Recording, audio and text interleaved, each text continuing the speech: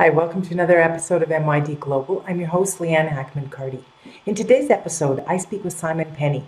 Simon is the founder of WasteAid, but he's also doing some really cool stuff right now in the area of debris and waste management. So stay tuned as I talk to Simon about what he's doing and what you can do to help lessen the impact of waste in your community.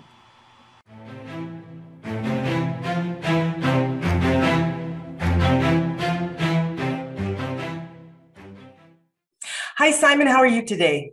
I'm very well. Thank you, Leanne. So tell me, before we get started, just a little bit about your background. Um, well, I have been in waste management for many years now. Uh, I uh, grew up, so to speak, uh, professionally within within the industry. Um, I am originally an islander uh, from the Channel Island of Guernsey. Uh, I worked on the island directly after uh, completing my first degree at Aberdeen University, which I did in geography. I ended up back on the island working in the Environment and Health Department, uh, which is a department of the local municipality. Um, and very quickly, I was seduced into the world of waste. Um, and and to be honest, you have to be seduced into it. it it's it's quite uh, it it it has its characters, it has its um, uh, it has its quirks, um, and um, but it also has great attraction and, and variety. Um, so I worked in Guernsey, uh, which is a small island between England and France. It's about uh, it's about 80 kilometers off the coast of southern England and about 50 kilometers off the northern coast of France. Um, very small island. You have to sort of double zoom on Google Earth to see that there's land there. Um, but there's about 50,000 people who, who cling to that rock. Um, and uh, it's a great place, a great place to, to live and, and, and grow up. And um, uh, yes, I, I, worked there for five years as the first waste regulation officer on the island. Um, so that was cool because you got to do quite a variety of different tasks. So I was involved with dealing with municipal solid waste, just that's just general household waste management. Um, I was involved with dealing with hazardous waste. We had old munitions, in fact, from the uh, Second World War. The island was actually occupied uh, by the Nazi forces in the Second World War, and they'd left landmines and uh, other hazardous um, materials back so we were involved in a wide range of uh, waste management challenges and issues. After that, I uh, met my wife to be and moved to the mainland. I worked in at Edinburgh City Council um, for some time as a as a policy officer, um, and it was at that point that actually I had my first opportunity to uh, work overseas. Um, whilst I was still at Edinburgh City Council, the tsunami of uh, 2004 happened mm. uh, in Southeast Asia. Uh, you will probably recall. Yep. And um, I had the opportunity to go and help with debris management and waste management in the in the immediate aftermath of that, in on the island of Sri Lanka. Um, and we can go into that a little bit, bit more depth in a minute. But um, I set up my own consulting company at about that time and uh, have been involved in some elements of international development and, and disaster waste management ever since. Wow, that's uh, there's a lot to talk about. Um, one of the things I, I know you founded Waste Aid, and so tell me a little bit about that organization.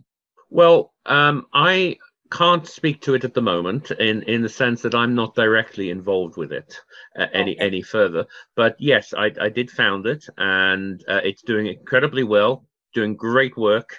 Um, it's uh, uh just uh, expanding beyond what I could ever have dreamt it to expand to, and um, you know I'm sure that they would uh, love to be the um, the focus of an of another um, uh, a seminar that you, you would put on. Um, but, um, you know, I, I have nothing but admiration for them, and they're doing some very, very, very important work. Well, so let's talk about islands then. So, so I mean, it, it is a very unique situation when you're on an island. You know you think when you're on the mainland debris management i mean you can you could you've got access to trucks and, and a transportation network that unlike what you would have uh, on an island. I mean you can only go so far and then you're in the ocean. Um, so i'm just curious as to uh, the kinds of issues that you do find in an island environment uh, when it comes to debris management. Well islands are both similar and different. Um, there's some 15 to 17,000 islands worldwide, um, with um, you know uh, with with a huge variety of issues and challenges that face them. Um, waste being being one of the key ones, and possibly one of the ones that is most overlooked at times. Um, every island has its own idiosyncrasies has its own unique characteristics, but there's also great great similarities between islands as well. They often uh, have to deal with waste that comes ashore uh, uh, from the marine environment. They have to import a great deal of the material that they use, which often comes with a lot of packaging. Um, they uh, are many many miles often away from recycling markets. So even if they are able to collect material for recycling. It, it takes a lot of energy and a lot of uh, gas to get the materials back to those recycling markets. Um, it's difficult to develop recycling markets on island um, because uh, obviously the markets are generally quite small. Um, but that's but again, you know, in, on an island like Sri Lanka or or Indonesia, it's it's quite quite different to an island like uh, the Seychelles um, uh, or, or, the Falkland Islands, um, which only have very small populations. So um, sometimes they can be very uh, isolated and hostile environments generally, um, which again adds further challenges to dealing with with with waste with waste um, on top of that, infrastructure, the actual infrastructure, the the the the uh, mechanisms used to dispose of waste or to or to manage the waste that is produced can be can be quite unique. Uh, they often have to be much smaller scale uh, than you would find on the mainland or in a city or urban environment. Um, and um, landfills, uh, etc., things like that um, are extremely expensive if they're done properly. Um, so again, this is a, a, again a, a challenge to, to, to, many islands around the world. Yeah, I mean, when you think about uh, Sri Lanka, when you think about Indonesia, the, the, the it was Banda Aceh, right? I mean, that that uh, tsunami you think about. I was in uh, british virgin islands and and it was after the hurricanes there irma maria. And all these yachts were just offshore and underwater. I mean you know the the mast is sticking out but they said probably those owners they, they'll get their insurance and they won't ever come and get that boat out. And you just think the magnitude of waste that happens after a natural disaster. It's, it's it can be overwhelming to these islands. It's like, where do you even start? Yes. And I, I think also it's worth taking a step back at this point and considering waste itself as a disaster. Um, you know, um, you know, it, it, it, it's not only is waste produced by disasters around the world, but I, I, I think that waste itself is a disaster. Um, you know, some, uh, and this was some of the thinking behind setting up WasteAid. Um, some, some uh, uh, three billion people, that's billion, not million, billion people around the world did not have access to uh, waste collection um, infrastructure. Um, 60 million people live on or adjacent to mega dumps around the world.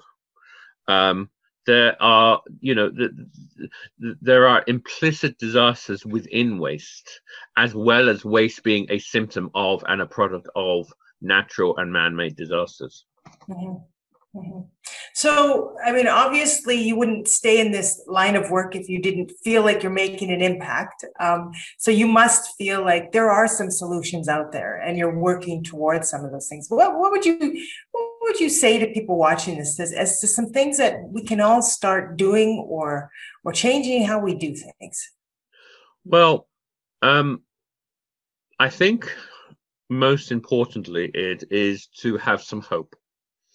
Um, it can be very overwhelming when you hear the stats and the figures and you see the plastic in the ocean. You see the plastic raining, literally raining down on Mount Everest. um, you see uh, turtles and seals and whales and birds full of plastic. Um, you see the the devastation that waste brings to many populations around the world.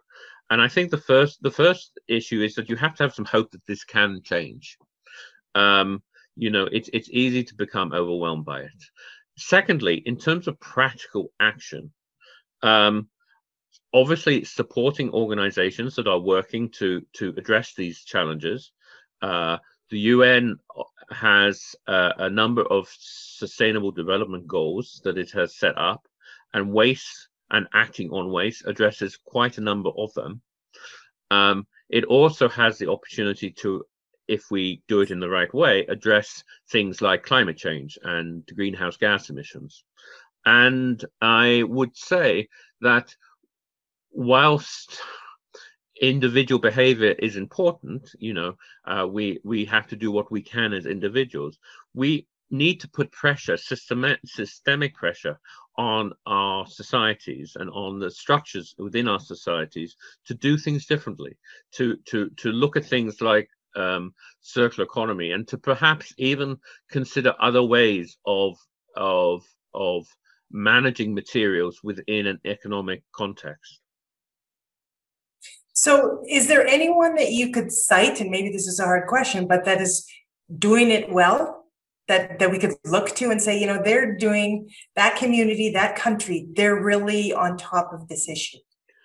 Well, I have a little bit of a, a I must declare a little bit of a, a bias in this um, uh, uh, in, in this statement, but I'm a, as I said, I'm originally from the island of Guernsey, and Guernsey has recently gone through a development of a waste strategy, which was uh, essentially to burn it uh, it was going to build an incinerator. Uh, but through public pressure and a great deal of um, work that the local authority there did, they diverted from using waste incineration technology, which I must confess does have a place in certain situations, just not in that particular one, um, to uh, to now having a recycling rate of I think 73% on the island of Guernsey, and actual reduction in waste generation uh, of, uh, a significant amount. Um, so they've actually reduced the waste that is being produced, and ultimately, that is the the way forward. We're we're going to have to reduce the amount of material that we produce as and generate as waste. Yeah, well, as we wrap up, is there anything else that perhaps I didn't ask about that you wanted to mention? Well, uh, like I said, um, yes, I, I, I am um, first of all thankful for your time and for giving me the opportunity to be interviewed on your show. Um, I am working on a new initiative uh, called the Island Waste Management Global Alliance. Uh, our website is iwmga org. Um, so if you want to find out more about that, yeah. please please come to that website and feel free to contact uh, me. Um, I, I, I have uh, I will talk about waste until kingdom come. So um, if you really want to talk about it, then please do get in touch. And I really appreciate once again the time uh, your time this morning. That's great. Well, I will uh, put the video or the um, URL for your website in this video description so people can find out more. Just curious as far as what, what is your hope with that organization? Uh, what, what's the mission, the mandate? So the mission is to create a, a worldwide alliance of islands uh, that specifically focus on helping islands meet the challenge of waste management and circular economy. There are a, a great number, uh, uh, or there are a number of great networks out there uh, that do connect islands, um, but none of them actually focus specifically on connecting the waste industry with island communities. So I'm looking forward to um, helping helping that uh, marriage take place and um, we actually had our first seminar a, a couple of weeks ago online. We had over 100 delegates sign up um, from across the world. And uh, it's great that, uh, as I mentioned before the interview, I'm also an island ambassador with Island Innovation, and they um, have been supportive and helpful in that as well. That's great. Well, uh, do keep in touch because I, I would like to, as you go forward, uh, maybe have someone or, or hear more about how things are going with your network because I think that is important that people can share best practices and ideas and solutions, and then we can get further faster. So, yeah. Um, thank you very much for your time, Simon. No, I appreciate it. Thank you. Bye-bye. Bye.